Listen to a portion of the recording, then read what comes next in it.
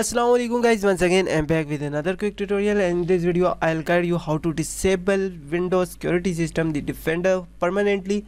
There are two methods. The one is temporary as you know even everyone knows how to disable it. Just click on the tray icon or you can just click on the Windows icon then type here the Windows security and you will get your defender.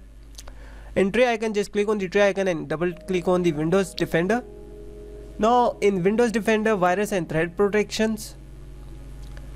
Now scroll down and virus and threat protection settings just turn off real-time protection. Make sure that it's temporary. After restarting it will uh, be re-enabled for your device security. So for permanently just click on the windows icon then type gp edit. Gp edit stand for group policies. So simply open it in group policies you need to just double click on the computer configuration.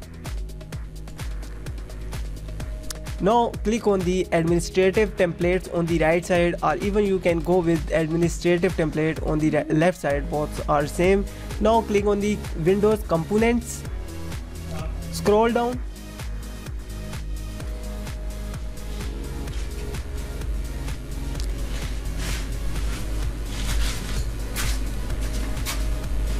and find here for Microsoft Defender antivirus.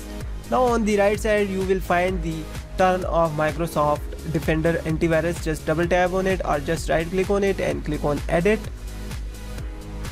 In the edit section you will uh, get three options. Just disable it and hit apply. Okay that's it. Now it's uh, permanently disabled. You need to restart your pc and that's it guys.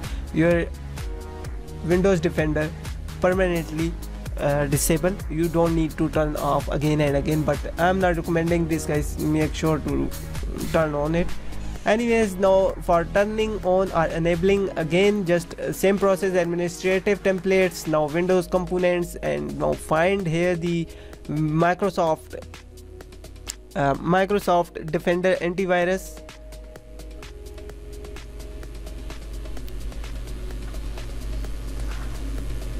just double click on it click on it. Now in this section again the uh, turn off microsoft defender antivirus just double tap on it. You can choose the enable or even not configured and hit apply okay. That's it guys. Restart your pc and your windows defender again enabled. I hope guys you like this video. Hit the subscribe button and share it with friends. And if you have any question just comment below. I'll guide you. I hope you are doing very well. Have a good day. Take care. Bye bye